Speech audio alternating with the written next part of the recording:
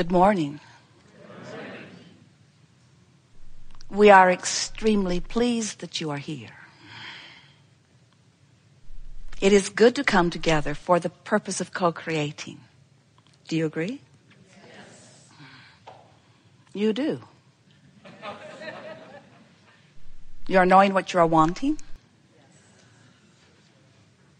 An ever-changing thing, yes?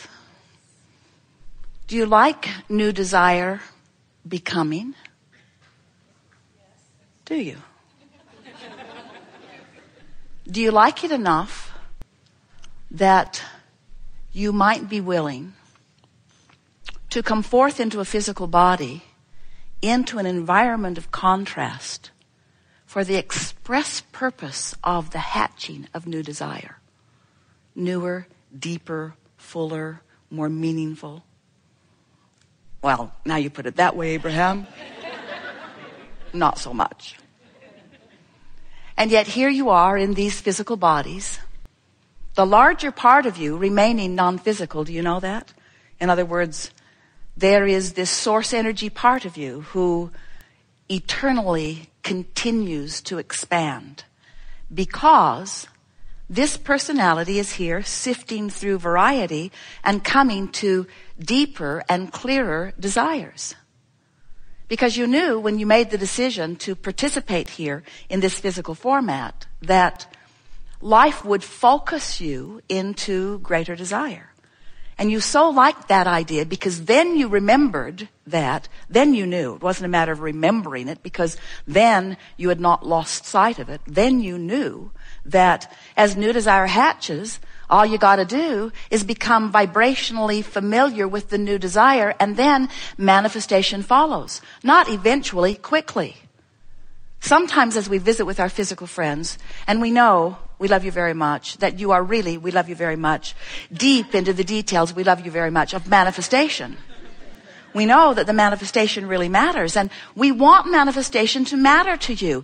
It must be really irritating to hear someone who is non-physically focused continue to draw a big circle in the air and tell you it's the vortex and insist that you go in. It's sort of hard to get your thoughts around that.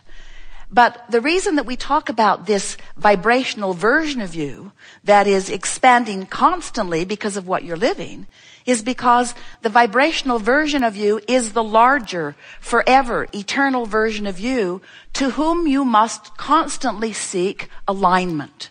Because this non-physical version of you is who you really are. So we're going to briefly give you the big picture and then we're going to get right into how you fit into it and the importance of who you are and the importance of the manifestations that you are seeking. In other words, we never want to give you the impression that you are source energy in a physical body just wanting to learn how to be source energy. Because if all you wanted to do was to remember how to be source energy, you would have just stayed source energy with us. You wouldn't have taken all the time and trouble of being born. It's really a pain, you know. and not just to your mother. In other words, coming forth into a physical body is a big deal. There's a lot of adjustment because you're born into a vibrational environment that is not pure positive energy like you remembered. That's why you cried a lot, especially at first, and slept a lot, and ignored everyone a lot. They kept saying, come on, come on, give me your attention. And you said, I'd rather not. You're not up to speed with me. And they said, come on, come and play with us. Come on. Come and play with us. Come into our denser, darker world. And you said, I'm coming, but don't make me come too soon. Let me remain in this pure positive energy. And we want you to realize that there's no danger. There's no risk in getting out there on the bleeding, leading edge. There's, there's no risk in that. It's just that you are supposed to feel good. You are meant to feel good. Feeling good is who you are and feeling good is possible under any and all conditions.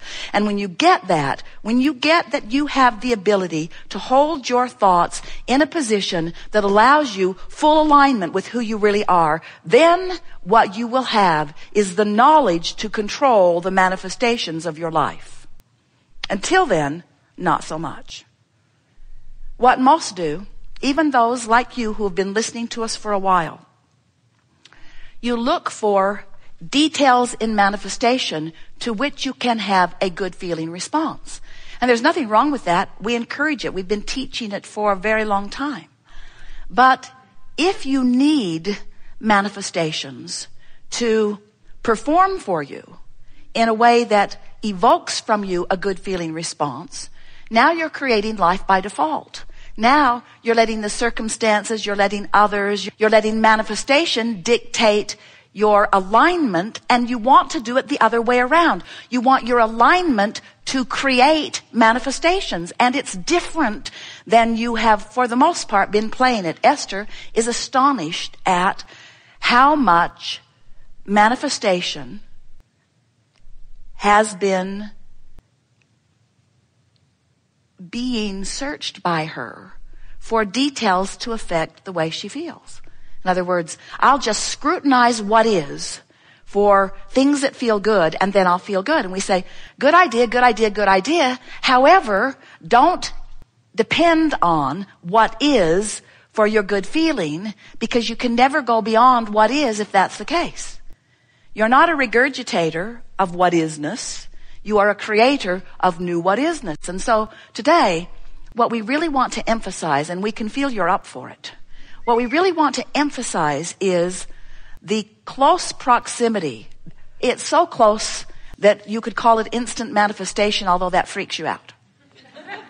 the close proximity between the alignment that you achieve deliberately with your vortex and the manifestations that follow, or the not closeness with your vortex that you achieve and the manifestations that follow.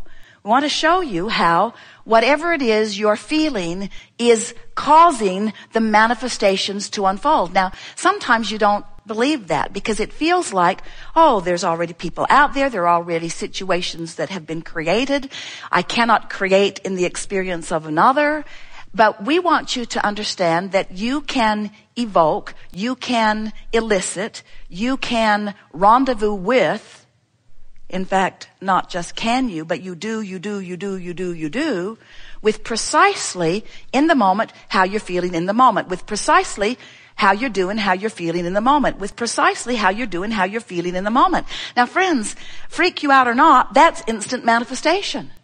You can be observing something that's not so good, and maybe it's irritating you, maybe it's frightening you, maybe it's just frustration. It could be anywhere in that range of unwanted emotions, strong or not so strong.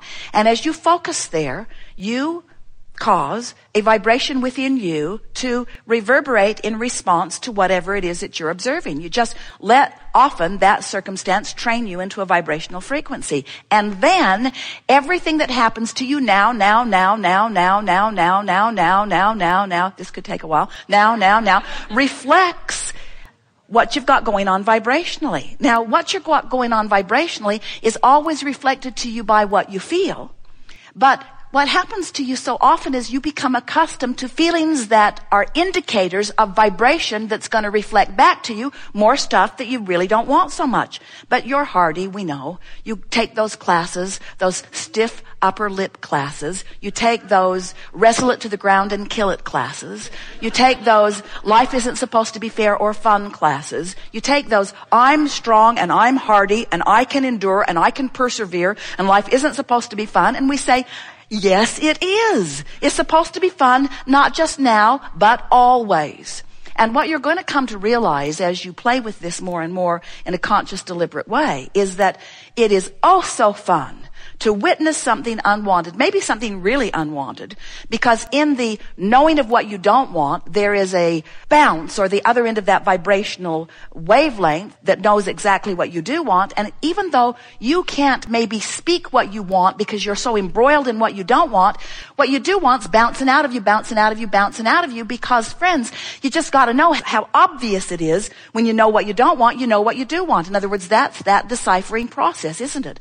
And when you really don't don't want it, you really do want something else. And when you sort of don't want it, you sort of don't want something else. But this process helps you to define whether you can speak it or not. So, this defining, this preferring, this giving birth to new intentions, it's the evolution of all species. It's the evolution of the cellular species. It's the evolution of the human species. It's the evolution of everything is this energy or vibration that bounces from someone, whether you're a one-celled organism or whether you're a full-fledged genius human, focusing and identifying whether consciously or whether vibrationally identifying what it is you prefer. Evolution, evolution, expanding, expanding, becoming, becoming, becoming. But most humans are really slow on the trigger to go along with what they have birthed. Your inner being isn't. In other words, you were source energy before you came into this physical body, and only a part of that consciousness, a really rather small, we will not say insignificant, but it is part of you. In other words, the larger part of you remains non-physical. Here you are, physically focused, this wonderful personality that is you, sifting through and preferring, preferring, expanding, becoming, expanding, becoming, asking, asking, asking, whether you put words to it or not. Someone's rude, you want nicer people around you. If you're sick, you want to be well. If you're really sick, you really want to be well. If you don't have enough money, you want money. All day, every day, bounce, bounce, bounce, bounce, bounce. And the source within you, becoming, becoming, becoming, because every time you say, I'd like that, source who holds no resistance, your inner being who holds no resistance becomes what you've asked for, becomes what you've asked for, vibrationally speaking. Now, that doesn't ring your bells very much because you're into manifestation and it's okay. That's why you're here in these flesh, blood, and bony bodies. You have come for manifestations. You've come to this leading edge because, oh, to line up and manifest, it just doesn't get any better than that. This is not catching up time. This is leading edge time. You're not here to prove worthiness through your manifesting. You're here to prove creation through your manifesting. In other words, you're here to create through manifestation.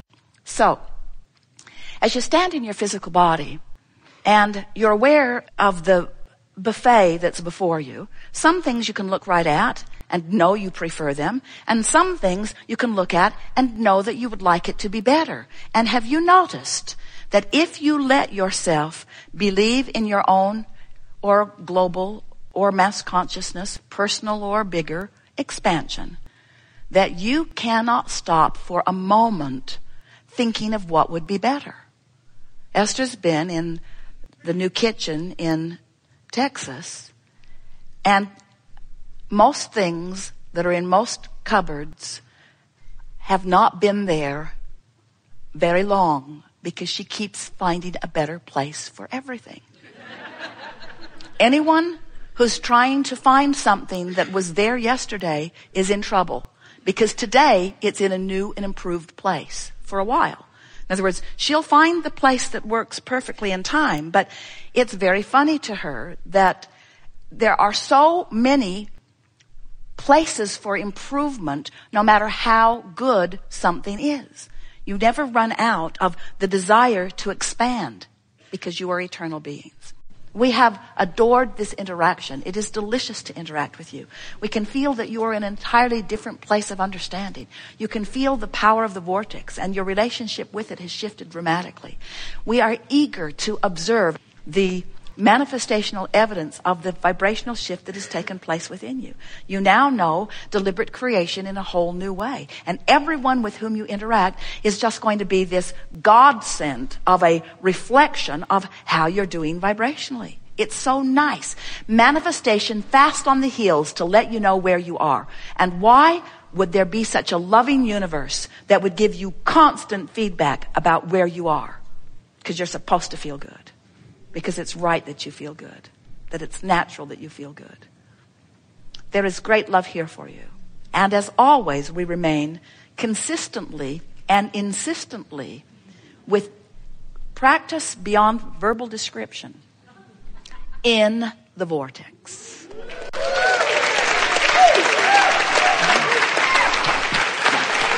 Yeah.